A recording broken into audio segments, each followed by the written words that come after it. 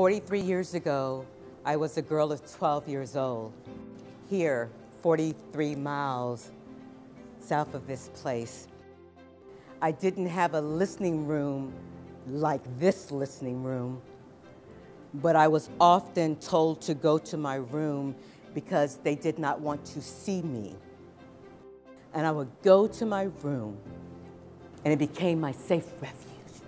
And in that room, I would have thoughts and conversations with myself.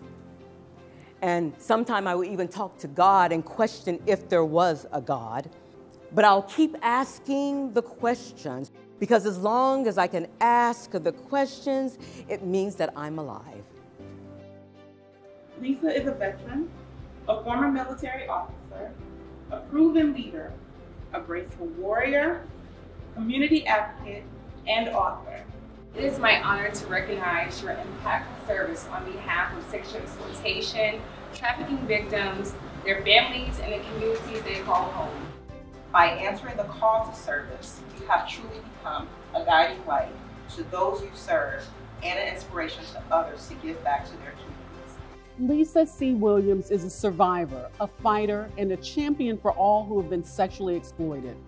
She is an inspiration and an example of how one person can make a tremendous change in the world. Ms. Williams' philanthropic endeavors are inclusive of the Circle of Friends Impact Legacy Scholarship Fund via the Century Challenge at Boston University, a matched dollar for dollar endowment for the next 100 years.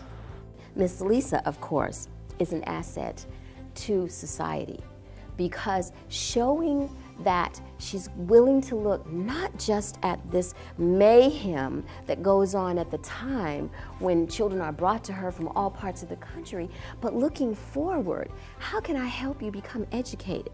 She has now memorialized here at Boston University the Century Club Philanthropic Gift to provide a debt-free undergraduate and graduate degree program for survivors and thrivers from sexual exploitation. You have always been an advocate for your cause to support young women's goals beyond any limiting circumstances. It only makes sense that you would also create a scholarship so that the lack of money would not limit another's dreams from coming to fruition. To honor her contributions, the university will dedicate the Lisa C. Williams Listening Room in her honor at the Howard Thurman Center for Common Ground. This room is a safe space for quiet meditation, introspection, and contemplation. The unveiling of the Lisa C. Williams Listening Room is nothing short of a testimonial to the everlasting impact of your work to build and foster collaborative and inclusive communities around the world. You continue to embody the powerful capabilities of women coming together to fuel meaningful conversations and to cultivate change among society's most pressing issues.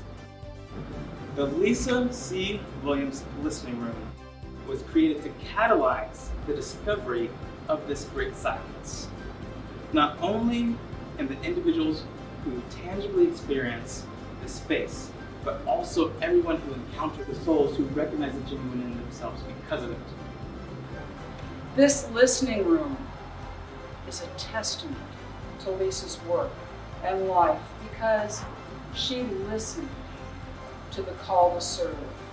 And she heard the voices and the individuals without voices yet.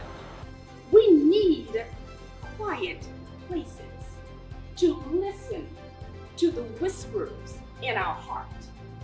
And here in this place, Lisa has given rise to an active listening space wherein all who enter may discover the gifts of the Spirit, may pursue their whole sacred divine self.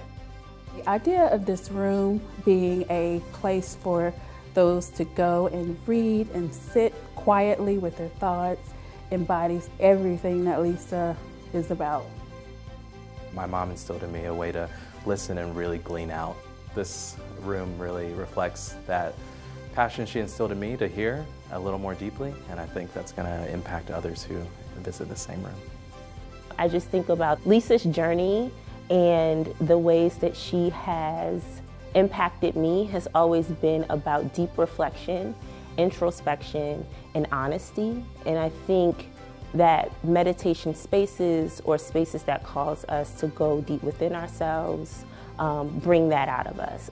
Having a space on a major college campus where people can go to reflect and to, to just be with themselves and learn about themselves really does encapsulate a lot of what Lisa was about when, when she was doing the work with the, uh, the children. The Lisa C. Williams Listening Room is perfect where students can come, reflect, think about the things that are going on in their lives, and be able to just bring it down and feel grounded and have a place to do that. It makes sense that Lisa would have an entire room, an entire space on a campus where people are learning and thriving and communicating and finding ways to solve the world's problems. She created a space where people can identify that still small voice within themselves. My name is Lisa C. Williams, and I dare say I sat in my room in Ayer, Massachusetts 43 years ago, which is 43 miles from here, by the way. I did not think negative thoughts in my room. Only who I would be one day. What are you going to do in life? What joys are you going to have? Because after all, in the room I was free.